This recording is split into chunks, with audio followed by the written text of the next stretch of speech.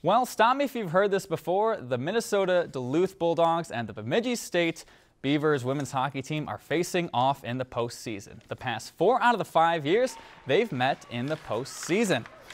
In each of those past three playoff matchups, it's been the road team that's come away with the series win, with the Beavers winning two of those three.